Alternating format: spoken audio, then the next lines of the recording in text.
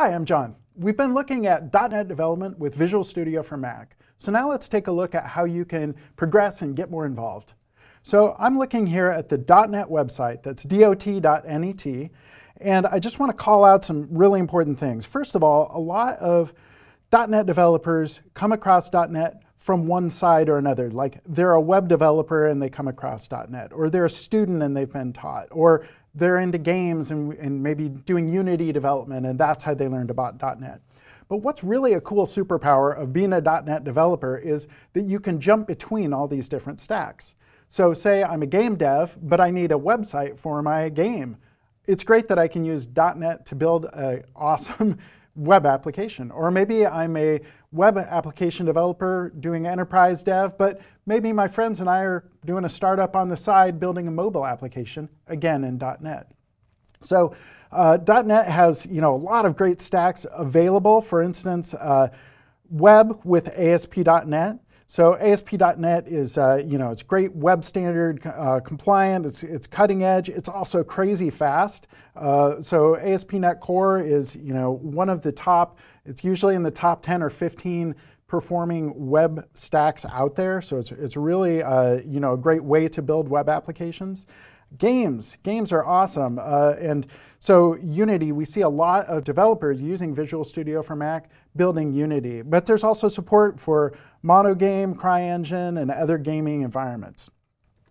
Uh, and, and another one to, to look at is mobile. Uh, mobile, there's great support in Visual Studio for Mac for Xamarin-based applications. So this allows you to you know, build with common code that's going to run with a native experience across uh, you know, iOS and, and Android, and, and it's being used by a lot of top businesses, and uh, it's, it's a great way to build mobile applications. So as a .NET developer, I can you know, be a web dev and a, a desktop dev and a mobile dev and a game dev. I can do everything. That's pretty cool.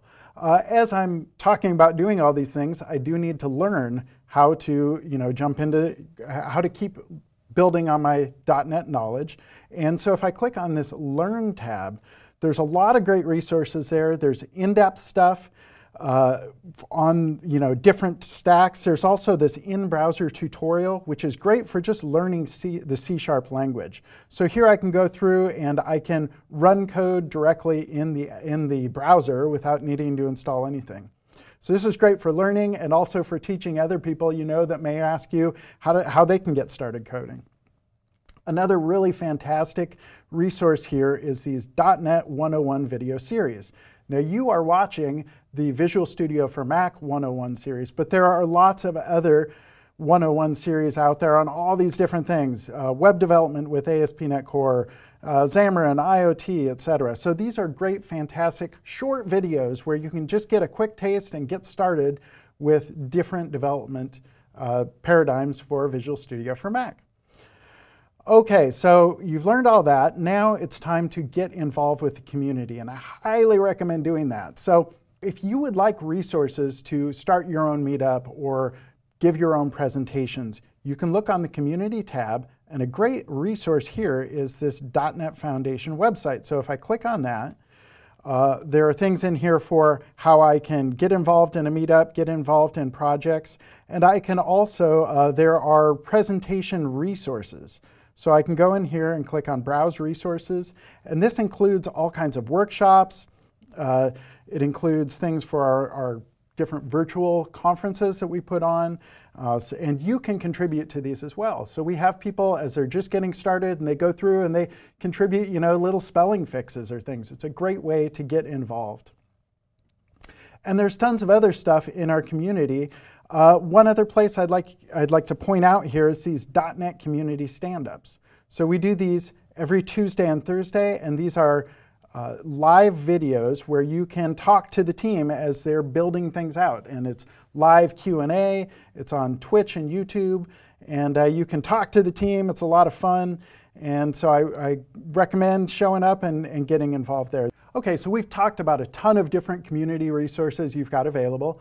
And the way to find all of these, again, you go to dot.net and click on the community tab and just find what works for you. We're on Twitter and GitHub and, and Discord and just all over the place. So Come join us. We'd love to have you.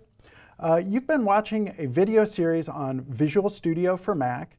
And I encourage you to check out our other video series. So we have 101 series on all different things from starting with beginning of C Sharp, all these different stacks that are available. And so come check them out. Thanks for your time.